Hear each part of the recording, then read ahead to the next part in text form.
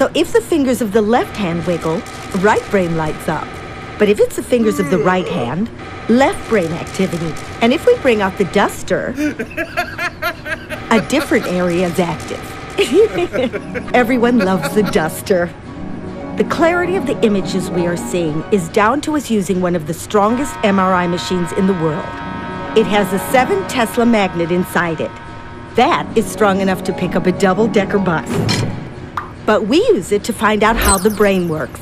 Thanks to the strong magnetic field, the scanner can detect changes in the oxygen levels of the blood in a person's brain.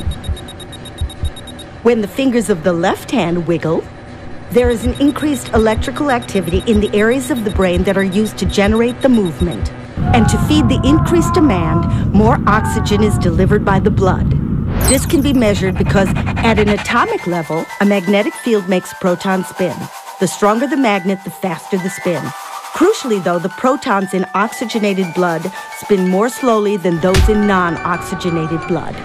And we can detect these differences with our MRI scanner. When the fingers of the other hand wiggle, oxygenated blood flows to the new areas of increased electrical activity. And, by deduction, we know these must be the areas being used to produce the new movement. Our experiments show us how our brains respond when we talk, experience pain, watch a film, or listen to music.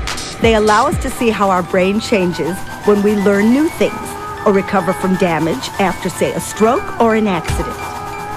Overall, they enhance our understanding of what I'm sure you'll all agree is a very important organ, one that we all need to make sure we look after.